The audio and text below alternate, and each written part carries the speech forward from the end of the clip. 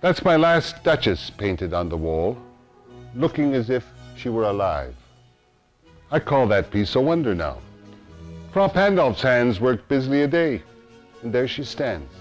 Will please you sit and look at her?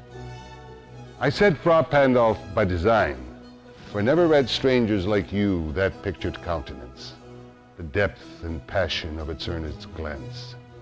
But to myself they turn, since none puts by the curtain I have drawn for you but I, and seemed as they would ask me, if they durst, how such a glance came there. So not the first are you to turn and ask thus. sir. 'twas not her husband's presence only called that spot of joy into the Duchess's cheek.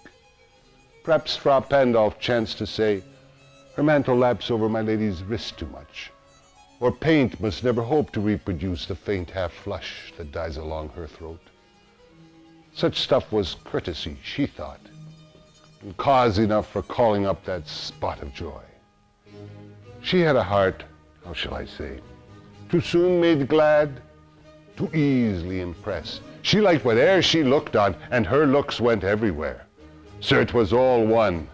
My favor at her breast, the dropping of the daylight in the west, the bough of cherries some officious fool broke in the orchard for her, the white mule she rode with round the terrace. All and each would draw from her alike the approving speech, or blush at least. She thanked men. Good. But thanked somehow, I know not how, as if she ranked my gift of a 900 years old name with anybody's gift. Who'd stoop to blame this sort of trifling? even had you skill in speech which I have not, to make your will quite clear to such a one and say just this or that and you disgust me, or here you miss or there exceed the mark. And if she let herself be lessoned so, nor plainly set her wits to yours forsooth, and made excuse, e'en then would be some stooping. And I choose never to stoop. Oh, sir, she smiled no doubt whene'er I passed but who passed without much the same smile?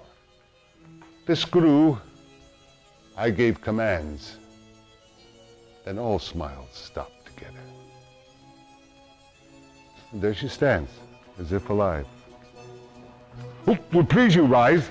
We'll meet the company below then. I repeat, the Count your master's known munificence is ample warrant that no just pretense of mine for dowry will be disallowed though his fair daughter's self, as I avowed at starting, is my object. Nay, we'll go together down, sir. Notice Neptune, though, taming a seahorse, thought a rarity, which Claus of Innsbruck cast in bronze for me.